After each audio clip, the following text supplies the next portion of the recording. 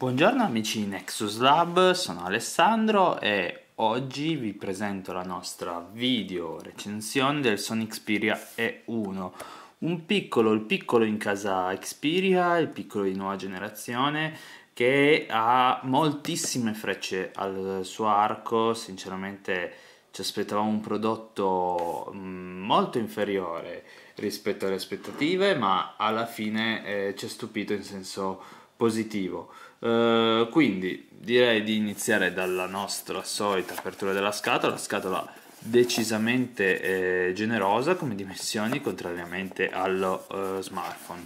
Andiamo ad aprirla, eh, volevo solo farvi vedere i, le tre varianti di colore disponibili, eh, bianca, eh, nera e viola. Allora andiamo a scoprire il contenuto, solito carica batterie da viaggio piccolino di Sony. Le cuffie eh, classiche Sony di ottima qualità. E il cavetto USB micro USB eh, da a collegare al, al caricabatteria oppure usare come cavo dati. Eh, qua inoltre abbiamo qualche manualino che sinceramente non abbiamo neanche aperto.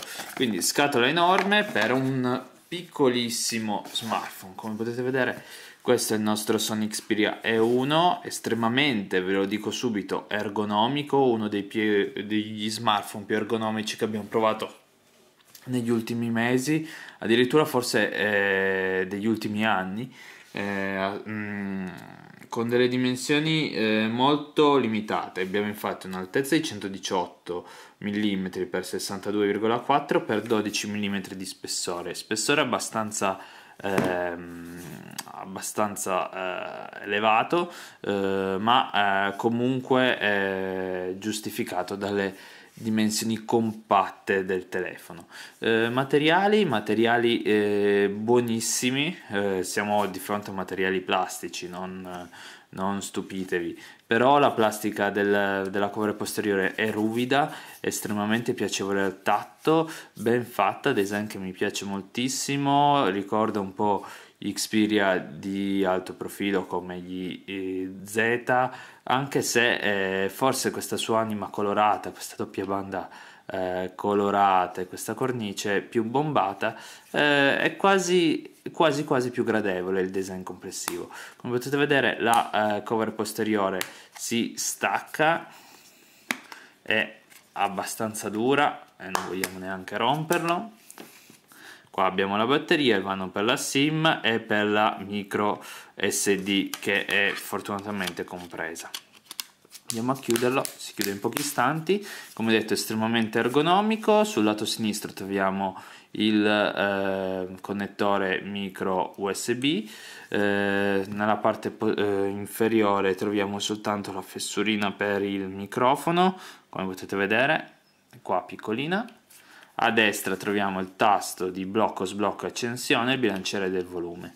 In più sopra abbiamo il tasto dedicato Walkman perché questo è un telefono dedicato alla musica eh, come praticamente ormai solo più Sony fa eh, e abbiamo anche un jack da 3,5 standard che in un telefono dedicato alla musica è d'obbligo eh, quindi da questo punto di vista capite perché le cuffie sono comunque di qualità un po' più elevata rispetto alla categoria di dispositivo che è di fascia eh, bassa. Um, andiamo ad sbloccarlo uh, sin da subito i fan di Sony riconosceranno l'interfaccia con questo tipo di veneziana a, eh, che ci fa da um, schermata di blocco sblocco schermata di blocco sblocco che ha anche i widget superiori. Come potete vedere a destra andiamo. Scusate batteria scarica. Parlavamo dei widget widget nella parte alta del display. Ehm, abbiamo la possibilità di godere di una tendina piuttosto uh, minima come piace a me sinceramente luminosità regolabile oppure adattabile automaticamente. Quindi il sensore di luminosità è presente adesso è attivo e la luminosità è stata parecchio diminuita. Interfaccia piuttosto fluida ma prima volevo parlarvi dell'hardware. Hardware con gli alti e bassi del caso. Eh, display da um, con una risoluzione da 4 pollici, scusate, con una risoluzione 800x480, un buon display, non eccezionale naturalmente, ma assolutamente buono per la categoria di prodotto, comunque da prezzo molto limitato. Eh, quindi display più che sufficiente. Eh, limitazione invece lato hardware, non a livello di SOC, visto che lo Snapdragon 200 di Qualcomm da 1.2 GHz dual core fa abbastanza dovere il suo lavoro, ma eh, quanto per la RAM, RAM limitata solo a 512 MB, un po' poco oh, nel 2014, un quantitativo così limitato di RAM e lo vedremo soprattutto in alcune situazioni. Eh, troviamo per fortuna eh, uno storage che può godere del dell'espansione della micro SD anche perché la memoria disponibile già solo all'accensione di questo device è purtroppo un po' limitata. Ve la faccio vedere subito. Impostazioni. Memoria. Lo spazio totale è di 2 giga. Disponibile 1.14 quindi veramente è pochino eh, fortunatamente abbiamo il, il, mm, la possibilità di installare una micro SD senza nessun problema. Info sul telefono, versione di Android ancorata ancora a Jelly Bean, eh, possibile, anzi auspicabile l'arrivo di Android KitKat dato che eh, l'ultima versione di Android, contrariamente a molte leggende, eh, sfrutta ancora meglio la RAM e eh, va a incidere meno sulle prestazioni. Eh, per il resto eh, ci troviamo di fronte a un dispositivo Sony piuttosto classico tranne per la componente audio, quindi partirei da quella dato che è un telefono uh, che fa dell'intrattenimento audio uh, la sua peculiarità.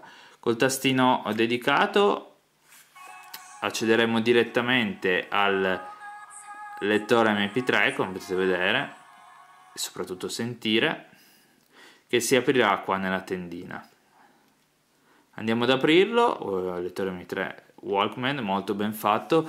Eh, non so se potete vedere il led led di stato meraviglioso. Uh, questa um, luce in stile eh, in stile non so alien è veramente bella veramente ben fatta. Uh, andiamo a vedere la lista dei brani.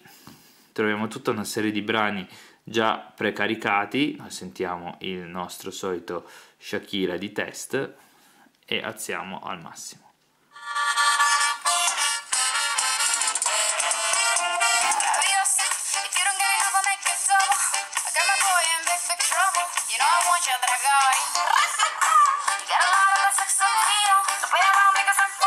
Allora, audio altissimo, veramente spara, spara un audio uh, molto molto alto, positivo soprattutto anche per il viva voce, eh, molto superiore a tantissimi altri smartphone più blasonati, si vede che eh, lo spessore è più elevato e questa e questo altoparlante più grande fanno a dovere il suo lavoro. Eh, non ci troviamo di fronte qualitativamente a un audio eh, meraviglioso, nel senso non abbiamo dei bassi eh, molto, molto tonici. Per il resto più che buono. Mentre ci siamo eh, guardiamo anche i video. Partirei appunto dal nostro solito Avi di Lost. Ok. Facciamolo partire.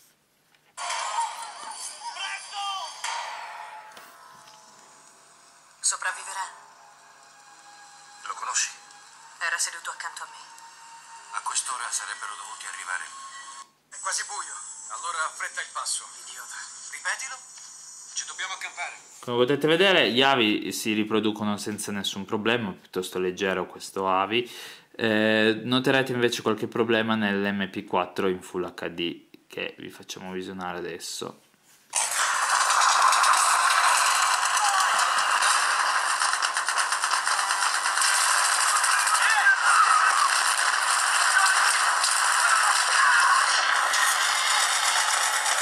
Il telefono purtroppo non ce la fa, non ce la fa semplicemente a, a riprodurre file così pesanti in Full HD, eh, fa piuttosto fatica. eh, qua problema soprattutto di RAM e di processore un po' limitato, eh, questo purtroppo mh, mm, difetta un po' la qualità totale l'esperienza dello smartphone. Eh, possiamo vedere ancora il display, display che comunque si comporta bene, ha un po' poco dettaglio, si vede un po' di grana, di pixel, però per il resto la luce è veramente forte, si vede molto bene anche la luce, quindi eh, niente da dire da questo punto di vista. Eh, dialer, dialer classico Sony con la ricerca rapida dei contatti, come potete vedere, i preferiti e le schede, qua Sony tende a personalizzare sempre poco. Messaggi, eh, messaggi andiamo ad eh, avviare una conversazione. Scriviamo un testo, tastiera estremamente buona e sensibile.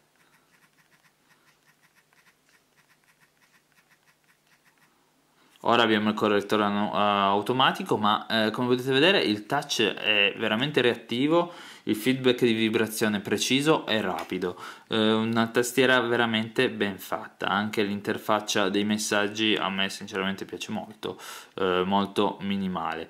Ehm, browser di default, Sony decide di togliere qualsiasi altro browser e di utilizzare Chrome. Scelta giustissima, andiamo su Nexus Lab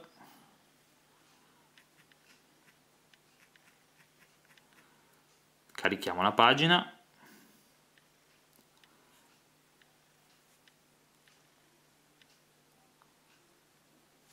allora come potete vedere eh, si riesce a navigare abbastanza bene la pagina anche durante le fasi di caricamento. Fase di caricamento forse leggermente lunga mentre lo scroll è da subito fluido il caricamento è un goccino lento.